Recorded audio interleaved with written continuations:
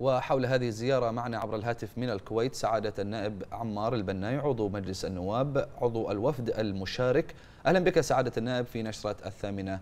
إذا آه هذه آه الزيارة وهذه آه جلسة المباحثات مع الطرف الكويتي. لو تحدثنا عن زيارتكم زيارة الوفد النيابي برئاسة معالي السيدة فوزية بنت عبد الله زينة رئيسة مجلس النواب إلى مجلس الأمة الكويتي وأبرز ما جرى في جلسة المباحثات.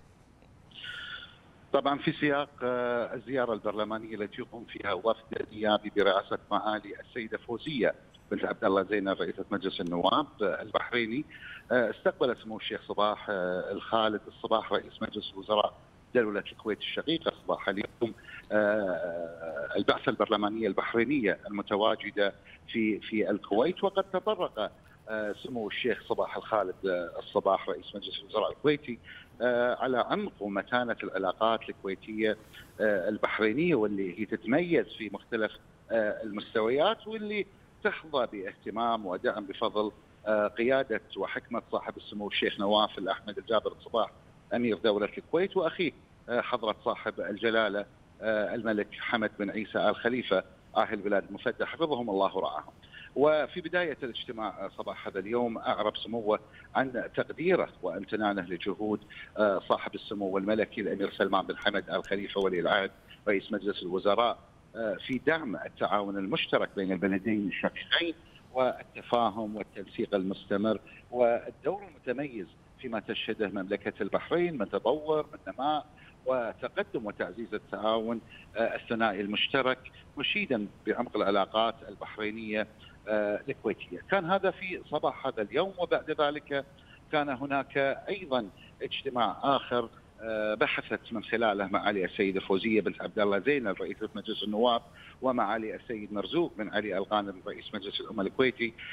سبل تعزيز التعاون البحريني الكويتي لتنطلق من العلاقات التاريخية والاستراتيجية المتميزة والروابط الرفيعه التي تربط بين البلدين.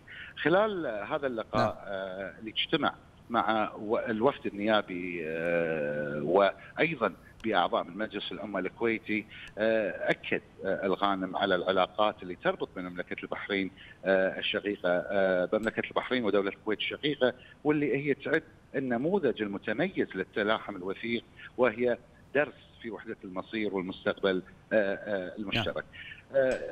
جلسة المباحثات البرلمانية المشتركة التي عقدت بعد ذلك بمقر مجلس الأمة الكويتي بحضور سعادة السفير صلاح المالكي سفير مملكة البحرين في في دولة الكويت آه تم مناقشة دعم العلاقات الثنائيه وتنميتها على جميع المستويات والمسارات وأيضا تطرقنا آه تبادل الخبرات، تطوير آليات العمل، التنسيق الثنائي المشترك على آه جميع الصعد البرلمانية وخصوصا في المحافل الإقليمية والدولية.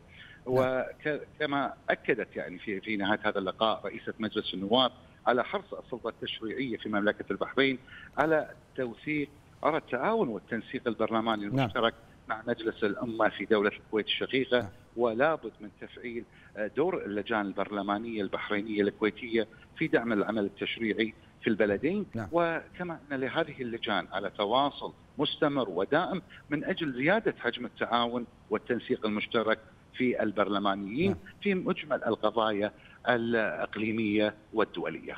نعم من الكويت سعادة النائب عمار البناي عضو مجلس النواب عضو الوفد المشارك. شكرا جزيلا لك.